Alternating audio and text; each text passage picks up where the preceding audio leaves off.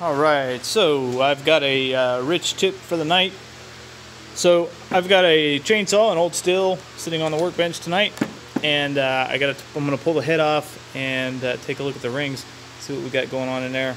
Um, it's not getting enough compression, uh, but it's doing. It, it will turn over to a point.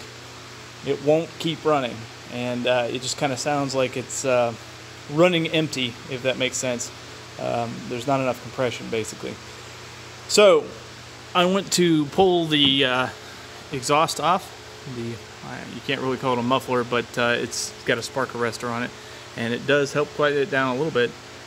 And I found that one of the nuts that's on there, which is one of these little guys, was well rounded. You can see this one is a little bit eaten up as well, and um, it's not for me.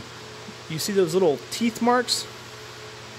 Somebody has gone at this with uh, a set of, uh, you know, set of uh, vice grips or something like that.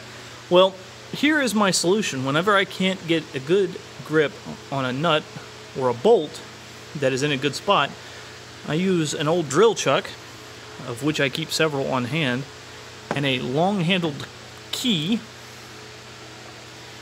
to tighten it on there, and then I can just loosen it. Now this old number one uh, Jacobs chuck here, which actually this may not be a number one. Hold on, let me take a look. It is a number two. I'm sorry, this is a number 2A. Uh, Jacobs chuck has some really aggressive knurls here, so you can actually use it kind of like a screwdriver very easily.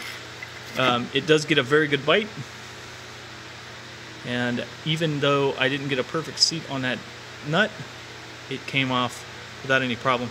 So the trick, the tip for tonight is don't throw out your old drill chucks.